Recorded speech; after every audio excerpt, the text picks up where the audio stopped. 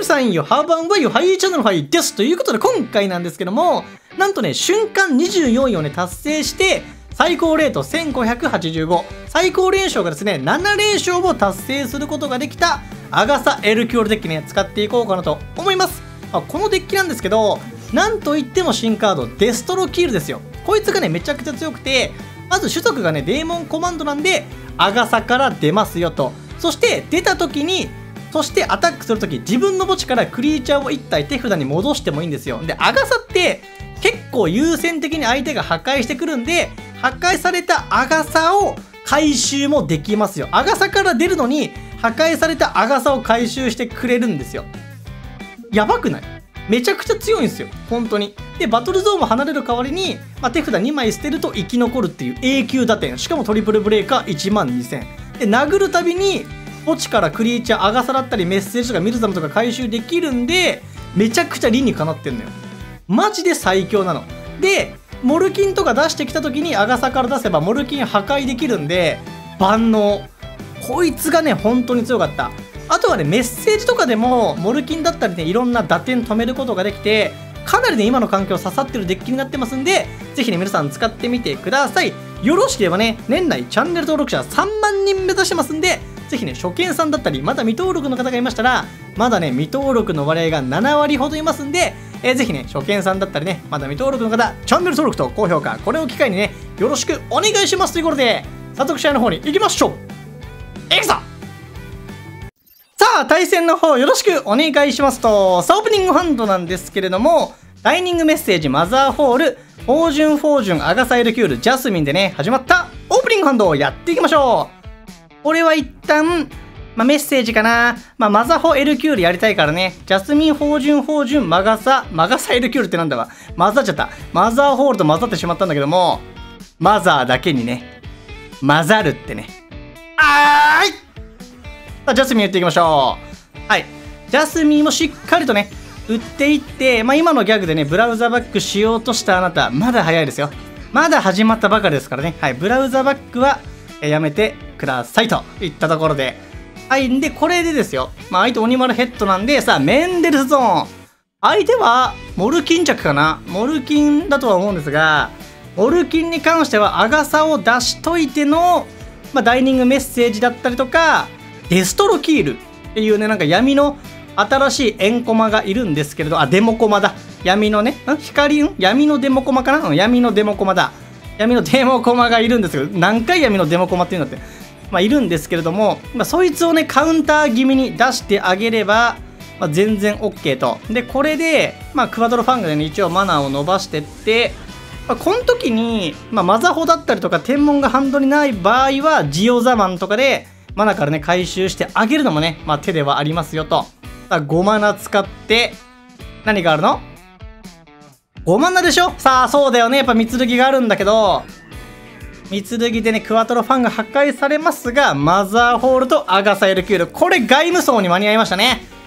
外務層に間に合ったのはだいぶでかい。さあ、これはマザーフ打ちます。さあ、行きましょう。アガサエルキュールで、ジオザマン回収で、もう1枚のね、マザーホがあるので、まあ、マナからね、ミルザムだったりとか、まあ、なんだっけ、ダイニングメッセージとか、まあ、そこら辺のブロッカーをね、回収してあげるのも手ですよと。いったところ、このジオザマン、本当にね、かゆいところに手が届く。めちゃくちゃいいカードよ。相手、外務層来いと。外務層来て、モルキンが来たら、もう盾を信じてデストロキールよ。カウンター。あとはメッセージでもいいです。貴様だけは許す。モーツァルト？なるほどね。モッツァ？モッツァ。はい、来たこれは強いよ。デストロキールで、これ外務層破壊でいいです。モッツァハンドに戻るんで。で、これ、アガサハンドに戻ってくるんですよ。これめちゃくちゃ強いでしょ。もうテンション上がっちゃった今。めちゃくちゃ強いでしょ、これ。で、もう一回マザホで出すっていうね。無限ループメウってなるわけなんですよね。しかも盾が強い。モーツァルトは戻るんでね。で、彼11丸なんでね、もう彼の姿を見ることはないんじゃないかなと。さあ、これマザホ打ってアガサイルキュール。で、これデストロキールは、ハンド2枚捨てることによってバトルゾーンにとどまり続けるっていうね。で、墓地回収能力もね、非常にこの効果にマッチしている、もうとてもいいカードなんですよ、本当に。さあ、ガサイルキュール、なぜエヴァンスに頼まなかったんだと？エヴァンスがいねえからだとさあ、これデストロキールもこれ3点パンチして全然いい。で、これで、まあ、ジャスミン、ジャスミンしかないからね、ジャスミン回収しましょう。で、縦に天文が眠ってるんで、モルキンで縦殴られた時にミルザム出して、リーサルターンずらせばいいだけなんで、トリガー発動でバトクロスバトルとは。はいはい。で、この灰色の脳細胞。なんもないのか、脳細胞。バトクロスバトル、ちょっと強いけれども、まあでもさすがにね、これ勝ったと思いますけどね。モルキンあるんかいと。モルキン来てくださいと。全然いいですよ、モルキン。モルキンさん？来るか？モルキン。外務省モルキン来ちゃう。殿下の宝刀ね。いやでも関係ないよ。もうここまで来たら関係ない。おばあちゃん言ってた。もうモルキン怖くないよって。アーガサ使ったら。さあ、メンデルスゾーン、ナイト。これないですね、相手。これ勝ちだぞじゃあ。デストロキールは、破壊耐性ついてるし、ああ、もうこれすごいことが起きるね。で、マザホでミルザム出して、勝ちです強すぎです争い止めるわ。マジで争うこと無駄だからね。これシュバルでいいか。はい、ってことで、対戦、アートシュいや、アガサマジで強すんげさあ、対戦の方よろしくお願いしますと、さあ、オープニングハンドなんですけども、デストロキール、フェアリーライフ、フェアリーライフ、ライフプランチャージャー、ジャスミンでね、始まった L キュールなんですけど、ハンドはめちゃくちゃいいね。ライフ、ライフプランチャージャーからの、まあ、天文だったりマザホ L キュール。そして相手はバルがライゾー。ドラゴ大王と鬼セブンカツ。センスがいい。鬼セブンカツを入れてるあなた、あなたはセンスがいい。とりあえずここはね、ジャスミン打っていきましょう。で、ライフプランチャージャーでミルザムとか持ってこれるとかね、まあ理想かなとは思うんですけど、まあ、アガサ2体目でもか。アガサ L 級で。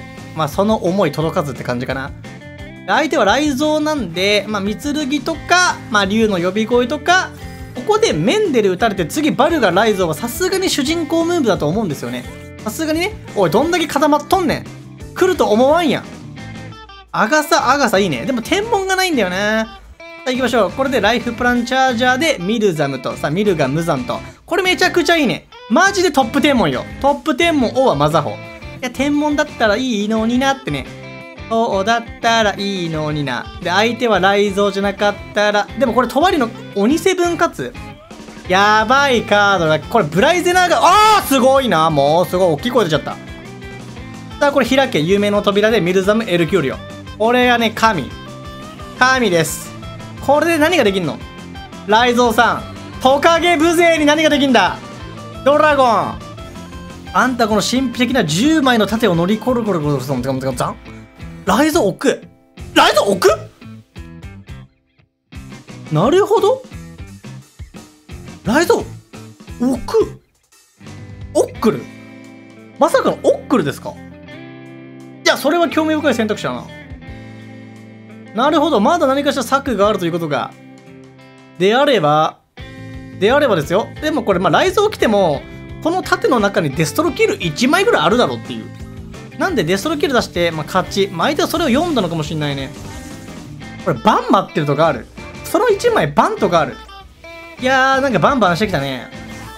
バンバンしてきてないババンバンバンみたいなもんだな。うわ、これバンか。バンカーか。次、バンって言ってる。あ、モルキンね。関係ないです。これは、その10枚の中に、デストロキールがあるかないかの話なんですよ、皆さん。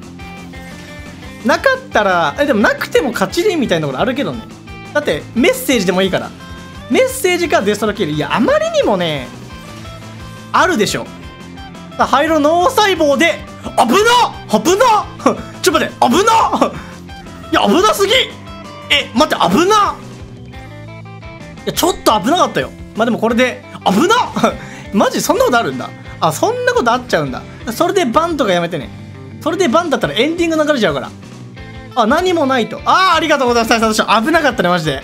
私は、まあ、モルキンは、こうやってカウンターして勝ちますよと。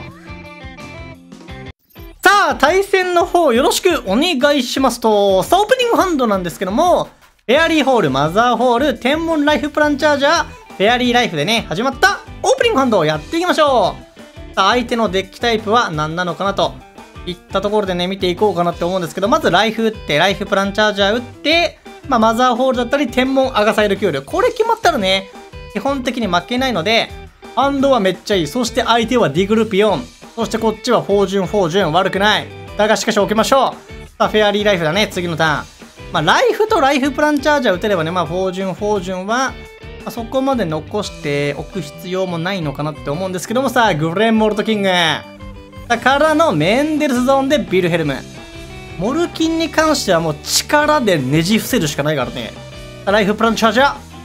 相手がもうゴリ押しでくるから、外務層モルキンみたいな感じでね、ゴリゴリで、もう大銀河外銀河で、もう縦へし割りに来るんで、まあ、こっちもまあミルザムとかアガサとかメッセージでねカウンターしていきたいところではあるんですけれどもさあメンデルスゾーンこれ青すごいね相手。いやでも逆にここでメンデル決められてたらもうね無理だからこれは。誰も勝てないからこんなことされちゃう。さあ行きましょう。ライフプランチャージャー。これワンチャン生まれましたね。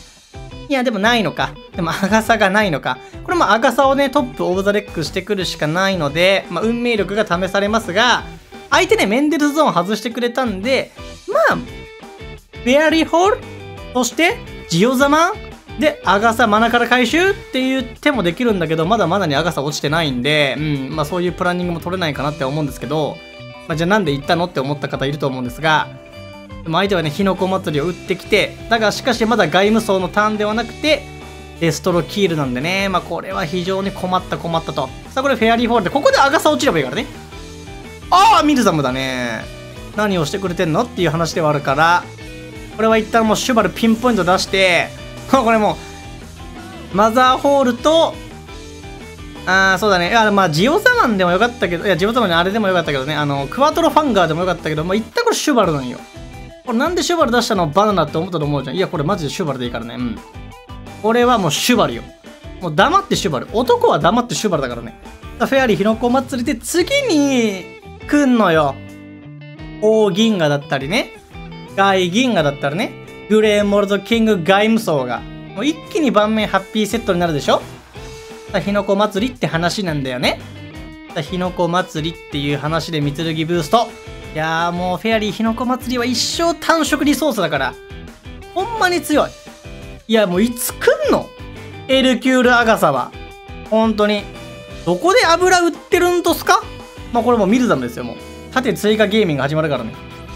で、これでシュバル覚醒さしといて、あの、モルキンに、もう臨戦態勢です、これ。来んなら来いよと。こっち縦10枚やぞと。殴り切ってみんかいっていう感じでやっていきましょう。令和の裁きですよ。これシュバル地味に効いてくるからね。知らんけど。さあ、8マナ。こういうのはゴリ押しですよ。アガサってプリング難しいんで。脳細胞なんで。灰色の脳細胞なんで、やっぱり。さあ、来たね、外務層。親の顔より見てるから、もう外務層に関しては。さあ、来た、グレーモルトキングね。はいはい、モルちゃん。あ、モルちゃん、こんにちは。で、来て、来てどうすんのと。でね、もうぐちゃぐちゃにされるんでね、盤面。さあ、これでグレンモルトキングをしっかりとは。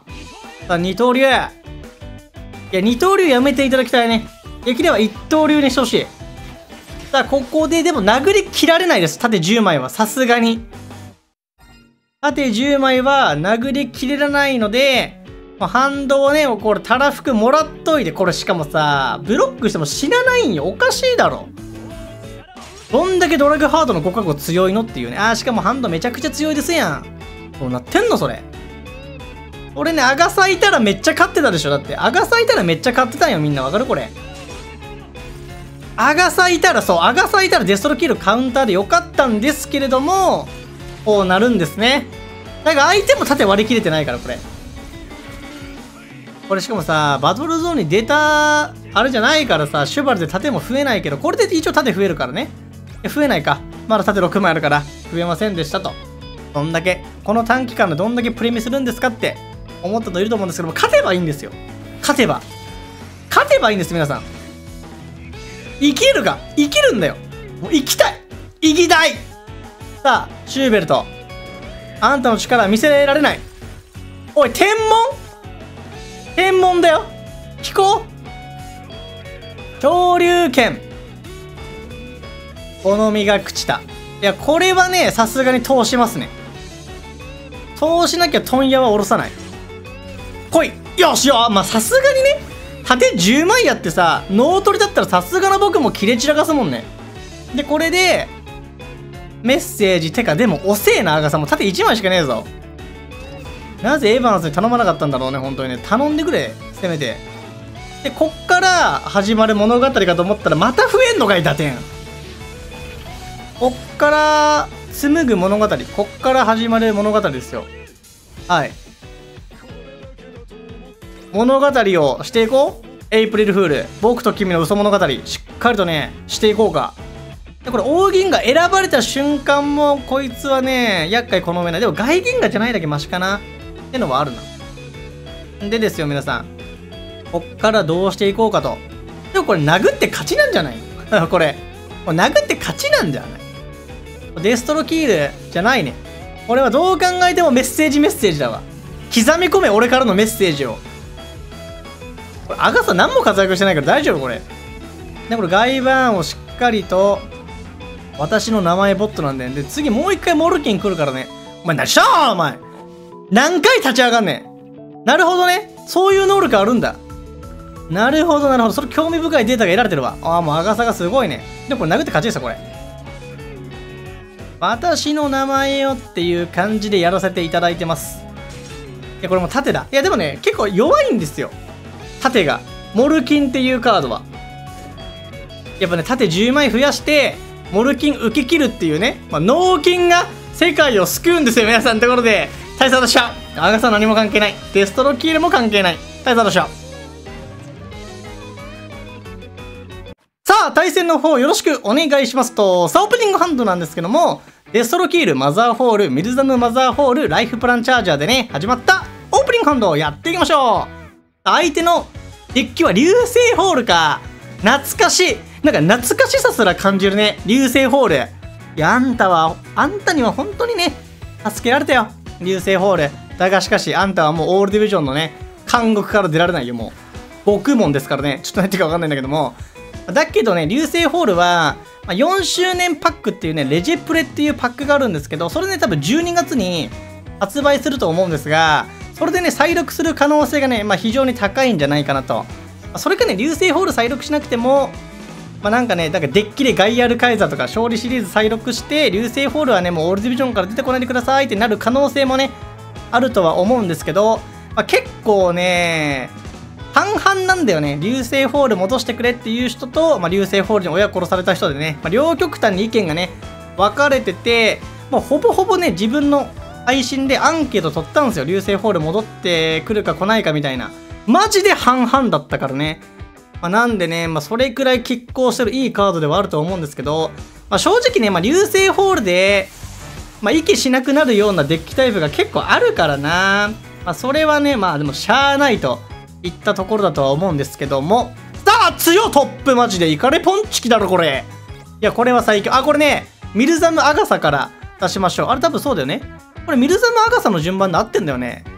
いやこれ多分ねミルザムアガサの順番で合ってると思うんではい合ってなかったらコメント欄でおい間違ってるぞバナナっていうねコメント残してくださいと。多分ねミルザムアガサの順番でいいはずですこれ。争うのは無駄ですと。まあ、争うの無駄だからってね、盾増やされたら相手もたまったもんじゃないですけどね、もう、争う気満々じゃないですかって、もう流星ホール思ってますけど。相手8マナなんで、さあ、鈍水があるんですよね。でもこれ、ミルザム戻してくるじゃないですか。で、これ5枚ドロー。いや、これね、でも、逆にアガサの効果から発動するんで、もう一回ミルザム出し入れできるんですよ。これ、ミルザムから出せば。ほら、この灰色の脳細胞とか言ってる場合じゃないでしょ。で、ほらもう、マザホ。ほら、こういうことなんだよね。最強です。なんで、ミルザムから出しましょうっていう話はそういうことよ。で、まあ、出すもの。それすなわち、うーん、シュバルか。シュバルか。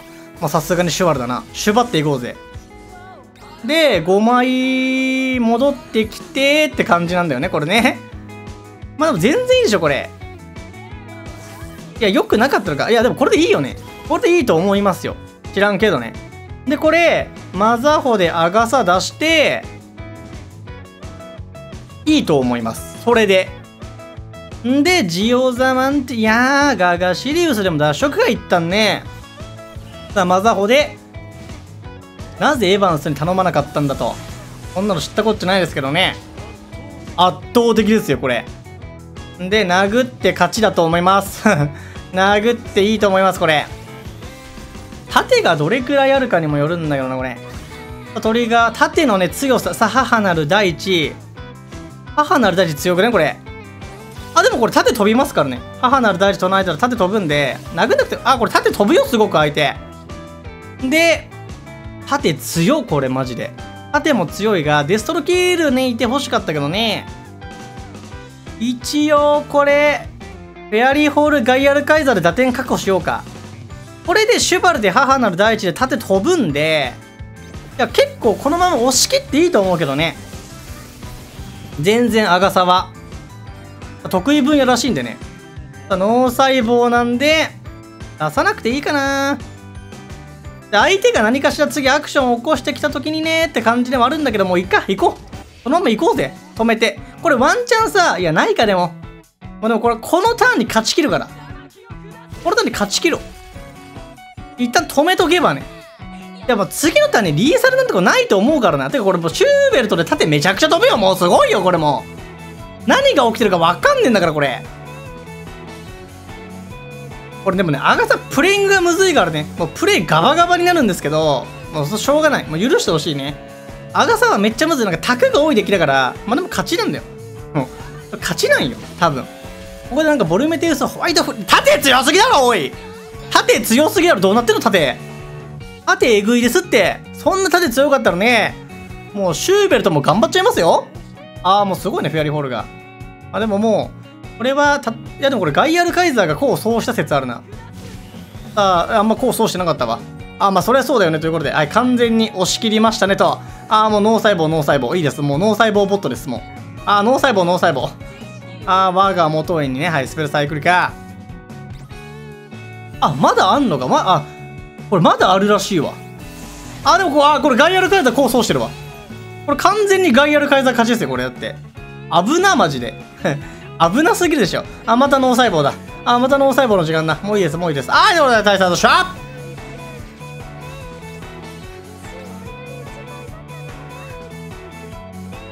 さあ、対戦の方よろしくお願いしますと、オープニングハンドなんですけども、フェアリーライフ、天文ジャスミン、ライフプランチャージャー、フェアリーホールでね、始まったオープニングハンドをやっていきましょう。さあ、相手のデッキタイプを見ていきたいんだけど、まあ、ジャスミンライフプランチャージはめっちゃ強いので、まあ、このムーブしながらアガサ持ってきて天文ってつなげていければまあ基本的には負けないんじゃないかなってこれ毎試合言ってる気がするんだけどさあどうする相手は？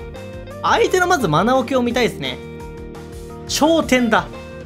頂点？まあでもまだモルキンの可能性はね無限にありますから一旦これはもうフェアリーフォロー置こう。でジャスミン。でライフプランチャージャーアガサ天文メッセージを。ミルザムが欲しい種をまいてるから。さあ私の命が希望の花となって何になるのと。さあマザホですよと。まあ光マナ確保は、まあ、全然でかいんじゃない。相手はメンデル売ってくるかどうかだね。メンデル入ってバキだ。モルキンじゃない。バキだ。バキね。バキもまあでもそんなにフリー対面ではないからね。ライフプランチャージャー置いてこれはまあもうアガサを持ってくるだけのただ簡単なお仕事いいですから。アガサ LQ で持ってきましたと。で、これも天文アガサで勝ちじゃない。さすがに。これしたらね、本当に強いから。もうアガサは、最速で出れば出るほど味が出ます。それそうなんだよね。さあ、スペルサイクルが。さあ、フェアリーシャワー。バキねいつまでたったってあんた強い。ロマンがある。バキには。さあ、シャワーで選んでくるものは何なのかっていう感じではあるけどまあでももう天文アガサメッセージした時点でいやミルザムが欲しいな。ミルザムがあればもうミルが無残よ相手も。ラブスナイパー。トップオブザデックこれはエルキュールエルキュールの時間なんじゃない？すまんメッセージ。お前はマナゾーンでメッセージ書いててくれ。いただきましょう。天文でエルキュールエルキュール。これは一生の頂きというね。異名を掲げるバキでさえもきついんじゃないですか？この盤面。呪文唱えたらもうフルカウンターですからね。倍になって帰ってきますよ。バキさん。さマス。マスなんて言ってる場合じゃないもんね。さドンスイ関係ない。だから天文？マザホ？オーマイガー何でもござるなんですね。いやその5枚に俺は全てをかける。でアガサ戻ってくるやん。だけどマザホとか天文で逆にもう一回アガサが戻ってくる。ってかこれ盤面増えて戻ってきます。縦が強い。縦が強いね。デストロキル2枚。これバキ来てもデストロキルデストロキルでもうパンパンパンよ。あタンタンタン。もうタンタンタンでもいや縦強すぎだろこれマジで。相手地獄ですよ。これがデストロキルの強さよ。でもこれ脳細胞。ああもう芳醇芳醇とか打ってる場合じゃないからもう。そういう次元じゃないからもう。これバキ出されても勝てるっていうね。いやマジでデストロキルは強くない？この盾よ。発目してこれ。もういいって芳醇芳醇はもう。よくお前このアガサデストロキールの並べでいや芳醇芳醇売ってくださいって主張できたな。もっとあるぞ。見て他の盾。申し訳なく思ってくれ。でこれ殴っていいです。多分。多分。これ殴っていいですね多分。多分だけど殴っていいと思う。だって縦にデストロキールっていうね超スーパーハイパーカウンター札が2枚も埋まってるからこれ殴っていいですね。まあでもまあリおーすごい。まあでもね、ライフライフとね、やっぱデストロキール、デストロキールはやっぱもう次元が違うんで、やっぱカードパワーの、まあ、ライフも強いけどね。ただこれもうバキに繋がりそうな中で本マスコ。いや、もういいって、芳醇芳醇、もうええよ。芳醇芳醇、お前ええってもう、もうええってええってええってええってええってええってええってもう、もうもう、あだ、もうええってええってええってええってなんで今？いや、あんたのターンじゃん、芳醇芳醇あんた。もうドローできないからね、あなた。でも勝ったのでもこれ。はい、ということで、ジオサマンでダイレクトアタック大統領賞まあでもね、やっぱ盾も強かったんで、完璧でしたね。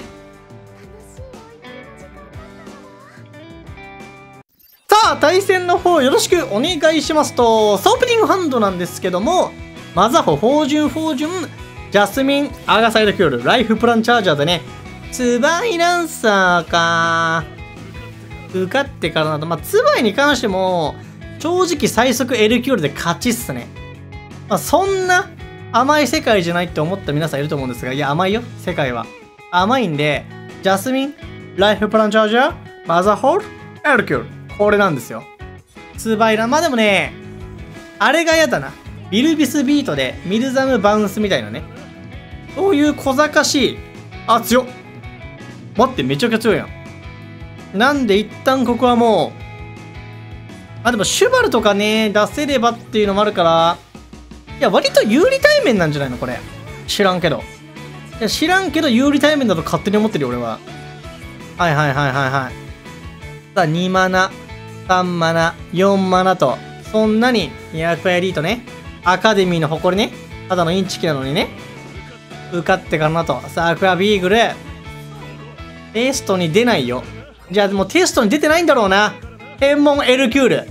ライフプランチャージャー天文 L キュール。ここテストに出るぞ。リキピドも勝った。あまりにも。